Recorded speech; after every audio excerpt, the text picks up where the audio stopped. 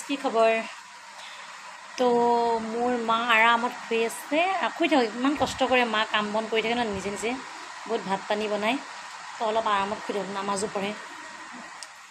মই এতিয়া আলু পৰঠা বনাই আছোঁ। ধুনীয়া কৰি আলু পৰঠা বনাই আছোঁ চাকিব। সিহঁতে কি ধুনীয়া শুই আছে। কষ্ট কৰে ন সেইটো কাৰণে মই ভাবিছোঁ এতিয়া ময়ে বনাই দিওঁ ধুনীয়া কৰি।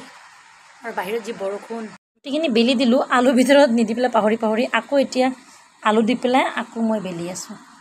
মানে সৰু কৰি বেলি আলুখিনি দি মানে বেলিব লাগে ডাঙৰ কৰি বেলি দিলোঁ ন আকৌ একো নাই এনেকুৱা কৰি আকৌ বেলি দিওঁ। ভিতৰত সোমাই দিছোঁ। ধুনীয়া কৰি ৰুটি বেলা হ'ল এতিয়া মই বনাওঁগৈ ভাজোঁ। আইঅ ধুই থৈ দিছা ন চাকিব? ধোৱা ধোৱা ধোৱা। মই পৰঠাখিনি ভাজোঁ হে। দিয়া। মা কৰি থাকক মাৰ অলপ ভাগৰ লাগিছে ন কাম কাজ কৰি কৰি এইফালে যি বৰষুণ দিছে এতিয়া কমিলে বৰষুণ। মাজনী তলতে শুই আছে। দুখ লাগে ন শুই থাকক। এতিয়া ধুনীয়া কৰি ইয়াতে ভাজোঁ।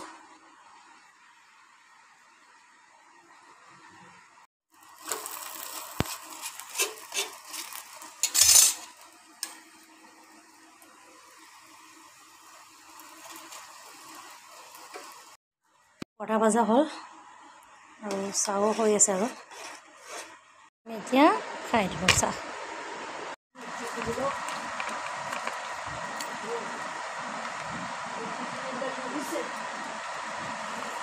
আমাৰ চাকিত নামাজ পঢ়িছে ধুনীয়া কৰি। সেয়া মা টোপনিৰ পৰা উঠিছে। মই মাক কৈছোঁ কলগেট লওঁ কলগেট খাই দিয়ে বুলি। বিহুজ হৈ গ'লোঁ